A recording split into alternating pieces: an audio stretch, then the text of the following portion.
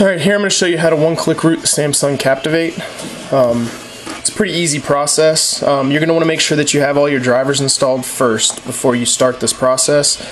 Um, first thing you're going to want to do after you've got your drivers installed is download Super One Click, um, which you can get from Android Advice.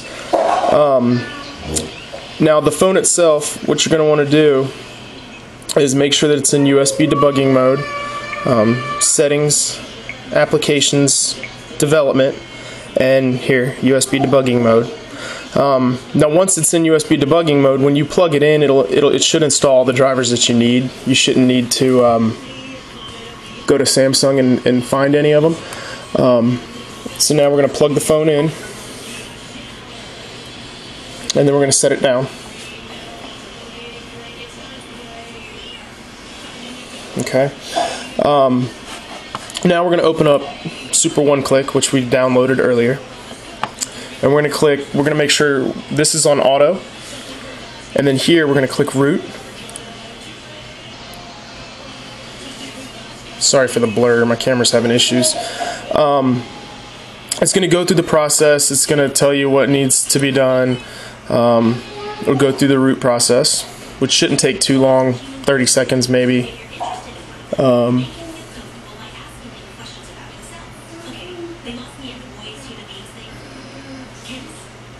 Now this device has been rooted already, um, but here you're going to want to say yes, um, and it will send an SU command to the phone.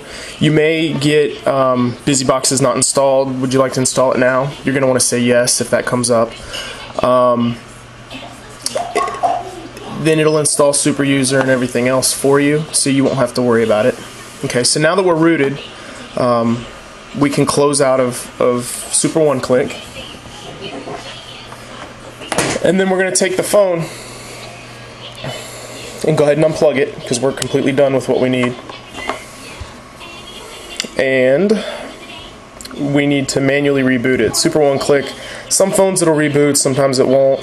Um, but we're going to want to power off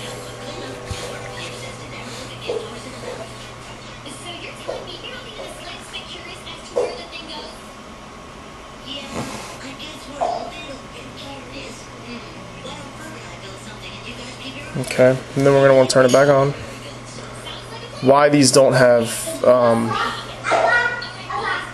reboot on them by default without installing a custom ROM, I'll never know.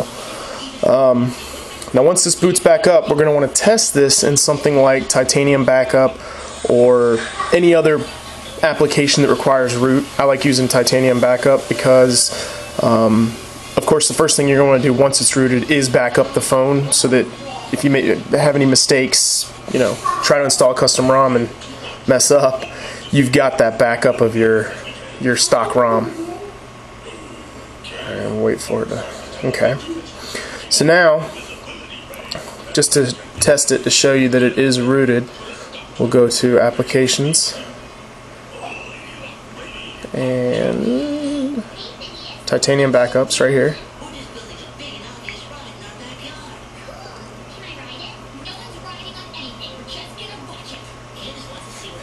Now, when you're doing this for the first time with Titanium Backup, it's going to pop up with a super user window and it's going to ask you to allow uh, rights. Um, in this case, it was already done. See, it was already granted super user rights because I allowed it and, and told it to remember before. So we're rooted. Now you have a, see, the super user app was added. You have a rooted Samsung Captivate. All right, you can go to androidadvice.com if you have any other uh, questions or if you want to follow along with the actual instructions instead of just the video. Good luck.